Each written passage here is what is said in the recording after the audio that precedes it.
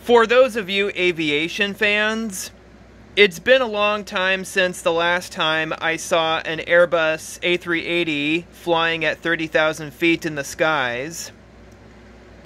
It seems like, over time, that Airbus A380s, supposedly the world's largest passenger aircraft in size, have been slowly declining and becoming a less common sight nowadays.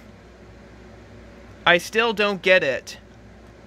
Why aren't we seeing as many A380s in the skies like we used to years ago?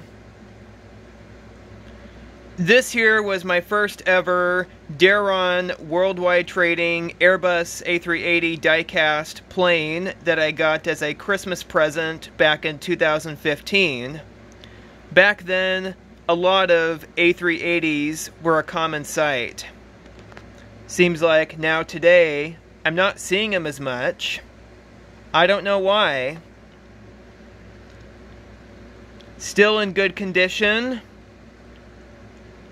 not even a single scratch even though there are some like little like paint marks from like other planes when they are stored in their container but still very nice airplane this is just Airbus A380 this isn't any particular airline this is actually the older version of the A380 livery there is actually a newer version on Amazon, probably for a good price.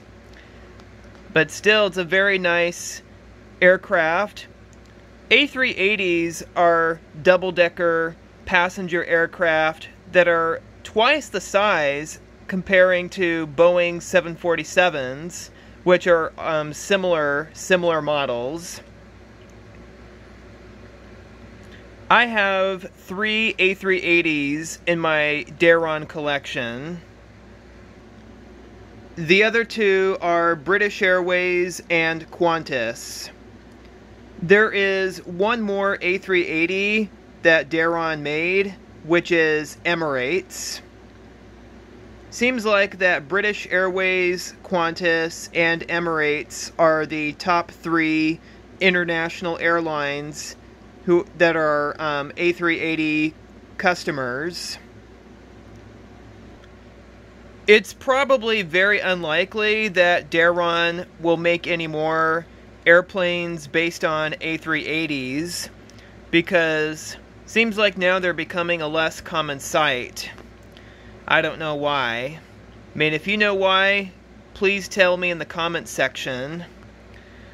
So, that is it for this review. Thank you for watching. Feel free to make a comment, like, subscribe, and don't forget to hit the bell so that you get notified for when I upload new videos. Thanks for watching. I will see you next time. Bye-bye.